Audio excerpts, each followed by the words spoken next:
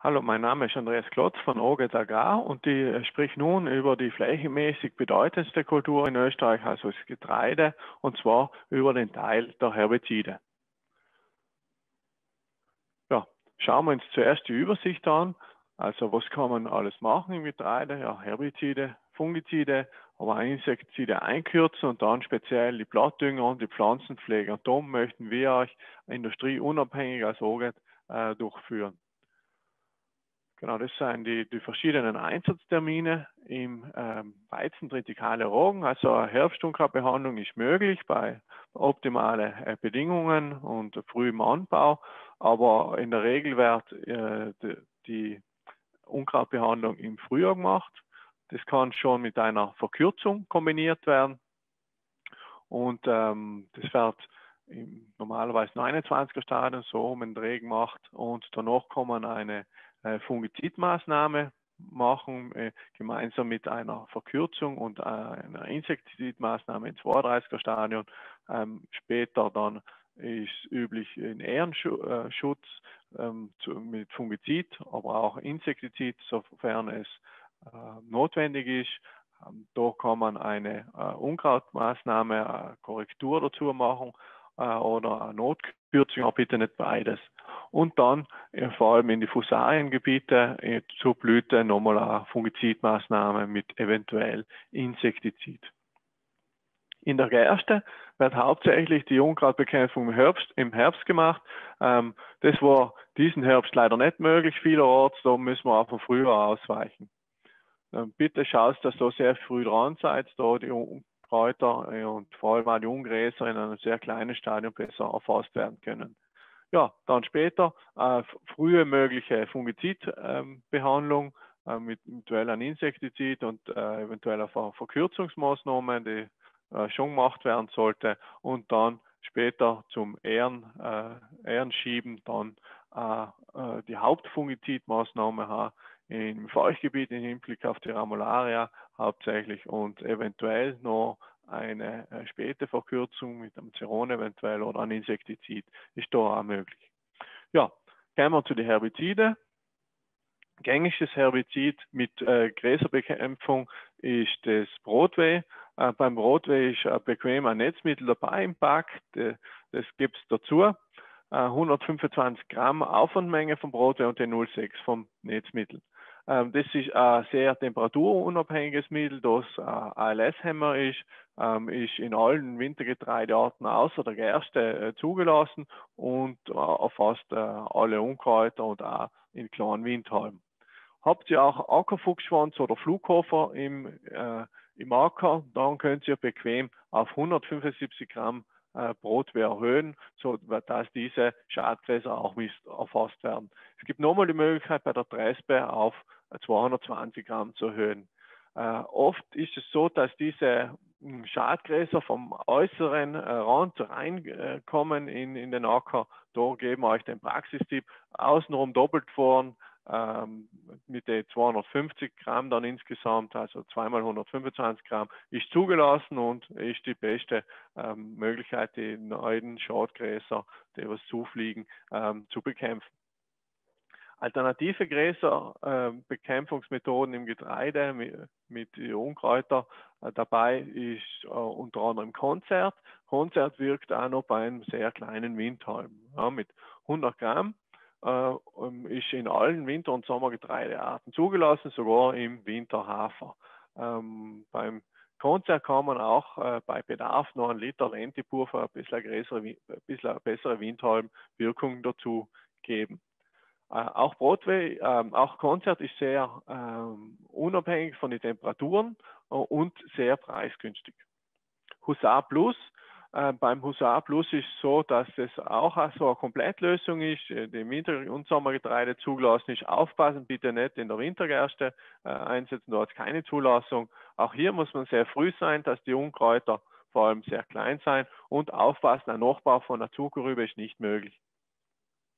Husar OD ähm, ist vielerorts die Lösung in der Wintergerste. Ja, ist äh, etwas schwächeres Husar, aber mit der Zulassung in der Wintergerste kann man im Frühjahr sehr frühzeitig ähm, die Unkräuter und auch die Gräser bekämpfen. Ja, ohne Gräserwirkung, da ist der Standard äh, Startribeneron plus der Getreide, also der äh, Getreidepack 1, ähm, der ist heuer ähm, so zusammengestellt worden, dass er für 5,5 Hektar ist. Ähm, Aufwandmenge ist 18 Gramm vom Tribeneron und 0,9 Liter vom Stargetreide XL. Das ist eine sehr preiswerte Lösung mit 22 Euro auf dem Hektar, hat zwei verschiedene Wirkstoffgruppen, also die ALS-Hämmer und die Wuchstoffe. Äh, Achtung, die Wuchstoffe brauchen ein wüchsiges, äh, wüchsiges Wetter, damit sie wirken, aber ansonsten ist das ein optimaler Pack. Die äh, beiden Mittel ergänzen sich ideal, so dass eine breite Wirkung erreicht werden kann, auch gegen Problemunkräuter wie Kamele, Kreuzblüter oder auch äh, Disteln, sofern zu dem Zeitpunkt schon aufgelaufen. Ja, den Park haben wir schon angesprochen. Der, der Park ist für 5,5 Hektar und kostet 118,80. Ja, äh, Getreidepack 2, also Startriebeneron wieder mit Pixaro. Pixaro ist ein relativ äh, junges, neues äh, Mittel, das ähm, auch einen Wuchsstoff beinhaltet, der temperaturunabhängig ist, also eine neue Generation von Wuchsstoffen. Ähm, da ist die optimale Kombination die äh, 16,7 Gramm äh, Tribeneron und die 0,25 von Pixaro. Ähm, das ist dann äh, eine Lösung für 20 Euro auf dem Hektar. Es hat hervorragende Verträglichkeit, sehr breit wirksam auch gegen ganz schwierig bekämpfbare Unkräuter, Waldviertel zum Beispiel, den Stochnobel und die Kornblume nimmt es mit, aber auch der Distelkamille äh, und auch übliche Unkräuter wie der Haubnessel, Vogelmier, Klettenlaukraut und viele mehr werden da sehr gut bekämpft. Ähm, das ist zusammengestellt im Getreidepack 2, ähm, der für 12 Hektar ist. Ja, Ariane C, also das Magellan äh, mit einem Liter Aufwandmenge, das ist ja ein sehr gutes Mittel mit sehr breiter Wirkung äh, und flexiblen Anwendungszeitpunkt. Kann man auch später fahren ähm, und wenn dann die Distel schon aufgelaufen ist, da ist der äh, stärkste Wirkstoff auf der Distel noch drinnen, äh, zusätzlich das Klopiram, das da eine super Wirkung auf die Distel hat. Ja, die Sulfonylharnstofffreie Mischung, das ist da MCPA mit einem Liter plus Pixaro mit 0,25. Ähm, das sind nur Wuchstoffe, ähm, das in der Fruchtfolge sich sehr gut, ähm, ja, sehr gut für die Resistenzen auf die äh, äh Unkräuter, ähm, ja, sagen wir mal, sehr gut für, dies, für, für diesen Zweck geeignet ist. Die Wuchstoffe brauchen nur auf äh, wärmeres, wuchsiges Wetter, damit sie wirken. Ähm, Lücken gibt es bei äh, bei der Mischung eigentlich keine. Vielleicht die Kamille, wenn sie zu groß ist, dass die ähm, nicht vollständig erfasst wird, aber sonst ist es eine sehr gute Mischung in der Fruchtfolge, weil Wuchstoffe ähm, keine äh, oder sehr geringe Resistenzgefahr haben. Ja, dann weitere äh, Herbizide äh, ohne Gräserwirkung äh, ist das Secato OD. Secato OD ist die preiswerteste Lösung mit 15 Euro. Ähm, ein ALS-Hämmer bitte früh anwenden, ist auch temperaturunabhängig. Ähm, Secato OD ist so formuliert, dass man kein Netzmittel mehr dazu braucht. Arat hingegen braucht man ein gutes Netzmittel dazu, 0,2 Kilo Arad und ähm, 0,1-prozentig Trend 90 zum Beispiel, das speziell äh, für die Art von Wirkstoffe konzipiert ist. Äh, Arad äh, ja, hat eine starke Wirkung gegen die Distel und der Ackerwinde äh, über den Dicamba-Wirkstoff ist sehr preiswert mit 16 Euro auf dem Hektar, hat zwei verschiedene Wirkstoffgruppen, die Sulfonylharnstoffe und die Wuchsstoffe. Biathlon 4D plus das, da ist im Pack ein Netzmittel dabei, also 50 Gramm plus 1 Liter empfehlen wir euch bis zum 29er Stadium und ähm, ich würde es auch, wenn die, äh, die Bedingungen gegeben sein, äh, in der frühen Phase machen, also es hat keinerlei Temperaturabhängigkeit, da kann man schon früh fahren und äh, das nimmt alles mit. Ist man später dran, dann ab dem 30er Stadium, da würde ich auf 70 Gramm Biathlon erhöhen. Ja, die Mischungspartner gegen Gräser äh, seien Islentibur, das hat eine eigene Wirkstoffklasse und äh, wirkt gegen einen kleinen Windhalm und die einjährige äh, Rispe. Ähm, es braucht eine Bodenfeuchte, das über den Boden wirkt und ähm, die Ungräser sollten sehr klein sein. Ähm, ja, mit 12 Euro auf dem Hektar ist sehr günstig. Axial 50, ein größerer Experte, ähm, der ähm, von äh, der Bodenfeuchte unabhängig ist, da übers Blatt wirkt. Das ist eine teure Variante mit äh, 35 Euro äh, auf dem Hektar mit den 0,9 Liter auf dem 0,9 äh, Liter Aufwandmenge. Äh, ist allerdings sehr starker Mischungspartner. Ja, die Korrekturen die Korrekturen werden äh, hauptsächlich gemacht äh, Star MCPA, also Stickhopo M mit 1,5 Liter, sehr günstig mit 9 Euro auf die Distel ähm, und das Domigan 200 mit 0,7 auf das Glättenlabkraut. Kann man natürlich auch gerne beides zusammenmischen. Da kann man äh, so eine Mischung machen, etwa 1 Liter Dicopo M und 0,5 Domigan 200. Beide Mittel ähm, sind Wuchsstoffe, da sollte ein wüchsiges Wetter vorhanden sein. Ja, somit wäre am, am Ende meines äh, Herbizidvortrages, bitte schaut euch auch einen zweiten Teil an über Fungizide, Insektizide und äh, Wachstumsregler ähm, und ich wünsche euch eine gutes, äh, gute Saison 2021.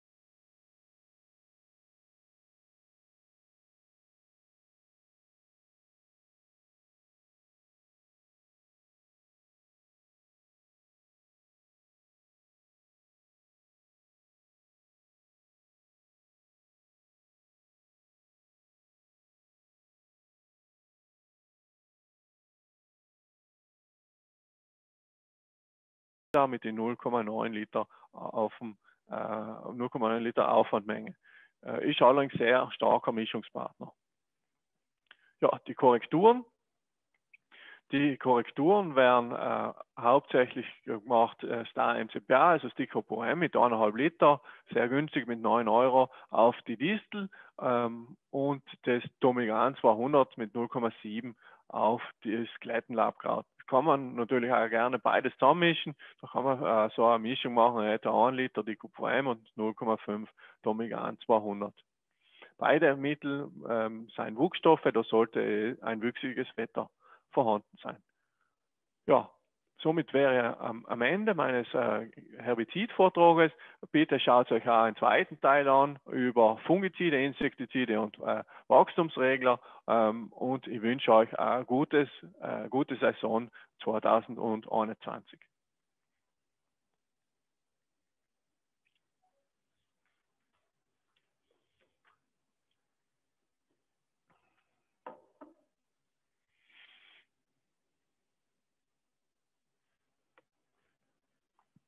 Und wie geht es mit dem Handy?